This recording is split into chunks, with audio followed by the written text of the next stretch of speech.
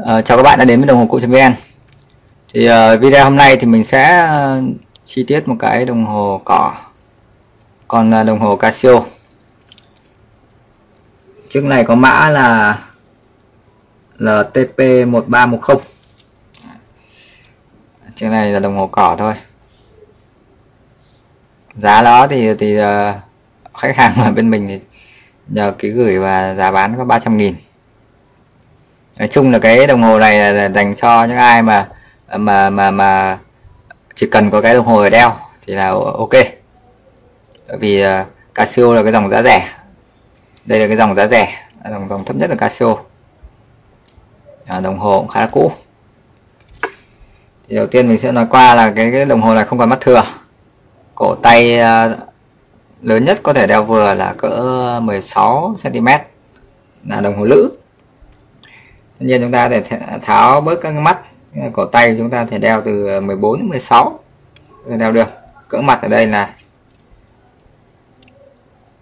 28 mm độ dày là 8 mm nói chung là cỡ mặt trung bình và hầu hết ờ, nữ đều có thể đeo được. Rồi à, tình trạng ờ, bảo hành đồng hồ hết bảo hành rồi nhá. Là pin thì là ở trước này bên mình ờ, mới thay pin cho khách. Rồi bây giờ mình sẽ vào chi tiết cái tình trạng của đồng hồ cho các bạn xem. À, rồi đây chính là chi tiết đồng hồ. Đấy. thì ngay lập tức các bạn có thể thấy là cái đồng hồ nó viền nó khá là sức nhiều. Cộng với cái cái cái viền bên trên viền bên trên đồng hồ nó đánh nó đánh xước đánh phay xước. Thành ra là các vết xước kết hợp với kiểu phay xước là nó cũng uh, xước khá là nhiều. Đấy. kính.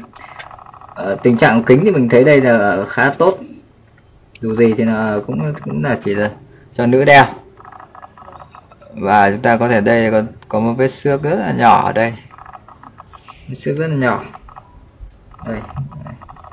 tuy nhiên là mà chúng ta không chú ý thì gần như là mặt kính nó không có vết xước Đấy, hơi lạ là còn là xước vỏ nhưng lại không không xước mặt kính Đấy. ở các cạnh ngang con này thì nó là kiểu cánh bóng nên nó có các cái vết sưu răm ở cái phần này cái phần này thì chủ yếu là do mình để trên bàn Đấy. Còn bên này thì ít sức hơn vì nó có cái núm để nó nó đỡ đồng hồ. Đấy. núm đây bạn các bạn thể thấy núm là sức dăm rất là nhiều. Tất nhiên là, là chả cần thiết là chúng ta đánh bóng lại cái con đồng hồ này làm gì. Chúng ta sử dụng cái đồng hồ này trong cái trường hợp chúng ta đang cần cái đồng hồ để đeo đi làm ở ngoài trời chẳng hạn. Đấy.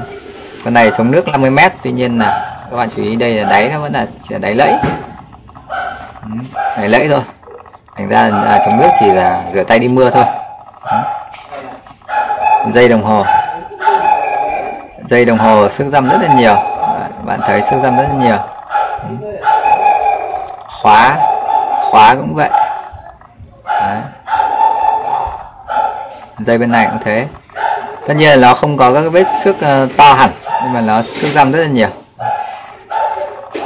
Khóa thì vẫn còn sử dụng chắc chắn ấn vào và tháo ra vẫn là rất là chắc tay. Đấy. rồi, mặt sau đồng hồ cho các bạn xem thông tin. Cái ờ, màu vàng đây nó là cái ờ, cái tem của anh Khuê. Nó đã bị phai hết. Tem của anh Khuê bị phai hết. Và nó trở thành cái tấm nhựa màu vàng trong trong ở đây. Ừ. Các bạn có thể bóc ra nếu muốn. Đây là thông tin của đồng hồ, mã đồng hồ này, mã máy. Đấy thông tin đây nó ghi ở cái tấm đáy, nó làm bằng à, vật liệu và thép không gì